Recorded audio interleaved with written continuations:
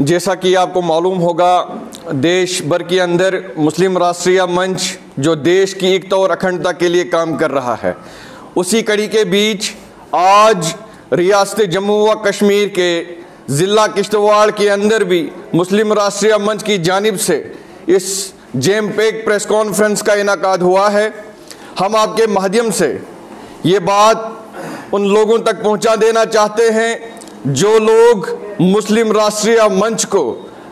गैर ज़रूरी बुनियाद पर टारगेट करने की कोशिश करते हैं। कुछ लोग संगठन के लोगों को बदनाम करने की कोशिश करते हैं। मेरी देश की सुरक्षा एजेंसियों से ये अपील है, ये मुतालबा है कि उन लोगों को आइडेंटिफाई किया जाए और उन लोगों के खिलाफ सख्त से सख्त कानूनी कार्रवाई अमल में लाई जाए। हाल ही में कुछ लोगों ने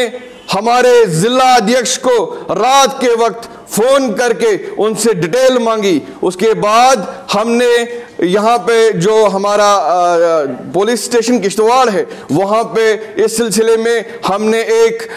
रिप्रेजेंटेशन भी संगठन की ओर से दायर की है। और हमें यकीन है, एतमाद है, देश की सुरक्षा एजेंसियाँ, देश के सुरक्षा बल उन, उस चीज़ को मद्देनज़र रखते हुए उस पर कड़ी कार्रवाई अमल में लाएँगे। इसके साथ साथ मुस्लिम राष्ट्रीय मंच पूरे देश भर के अंदर एक आंदोलन चला रहा है एक अभियान चला रहा है कि अक्साई चीन और बल्तिस्तान को खाली करो खाली करो खाली करो। खाली करो खाली करो खाली करो। के नारे पे जो है हम कारबंद हैं और इस के बीच जो पार्टी, जो हमारा जो संगठन है, संगठन की डायरेक्शन की बुनियाद पे आज जिला किश्तवाड़ के अंदर भी हमने प्रेस कॉन्फ्रेंस की और हम मुतालबा करते हैं, सरकार से और मरकजी सरकार से एक ऐसी स्ट्रेटजी को अमल में लाया जाए, एक ऐसी स्ट्रेटजी जो है तैयार की जाए, जिससे अक्साई चीन और बल्तिस्तान खाली करो खाली करो खाली करो,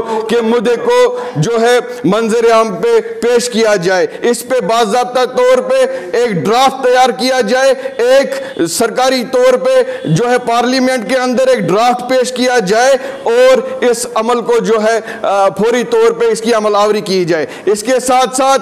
आपके माध्यम से मैं मरकजी सर, सरकार तक ये बात पहुँचा देना चाहता हूँ कि मरकजी सरकार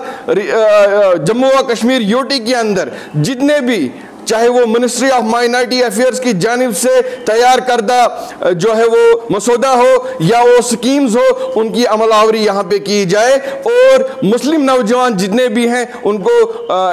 इन स्कीमों के तहत फ़ायदा दिया जाए, उनको मज़बूत किया जाए, ताकि देश की एकता और अखंडता के लिए जो आवाज़ है, जो जिस पे जो है मुस्लिम राष्ट्रीय मंच एक